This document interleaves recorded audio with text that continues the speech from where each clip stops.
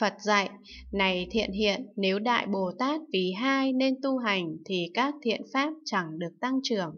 Vì sao? Này thiện hiện vì tất cả hàng phạm phu ngu si đều nương vào hai nên các thứ thiện pháp sanh khởi chẳng được tăng trưởng.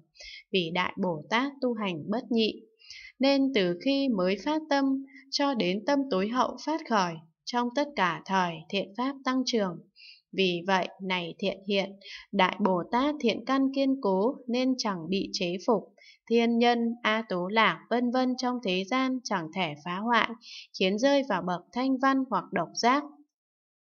Các thứ pháp ác bất thiện thế gian chẳng có thể chế phục, khiến khi hành bố thí ba la mật đa các thiện pháp phát khởi chẳng tăng trưởng được, chẳng có thể chế phục, khiến khi hành tịnh giới an nhẫn tinh tấn tịnh lự bát nhã ba la mật đa các thiện pháp phát khởi chẳng tăng trưởng được, chẳng có thể chế phục,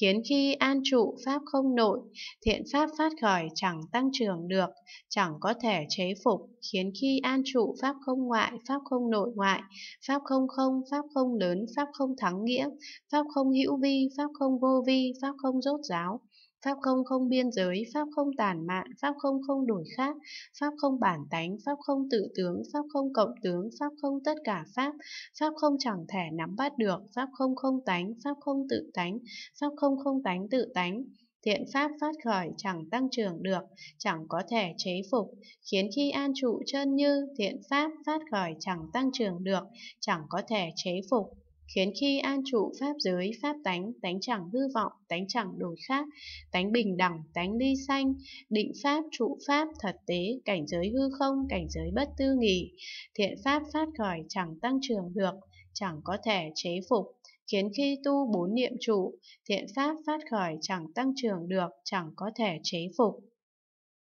khiến khi tu bốn chánh đoạn, bốn thần túc, năm căn, năm lực, bảy chi đẳng giác, tám chi thánh đạo, thiện pháp phát khởi chẳng tăng trưởng được, chẳng có thể chế phục, khiến khi an trụ thánh đế khổ, thiện pháp phát khởi chẳng tăng trưởng được, chẳng có thể chế phục, khiến khi an trụ thánh đế tập diệt đạo, thiện pháp phát khởi chẳng tăng trưởng được, chẳng có thể chế phục, khiến khi tu bốn tịnh lự, thiện pháp phát khởi chẳng tăng trưởng được, chẳng có thể chế phục, khiến khi tu bốn vô lượng bốn định vô sắc,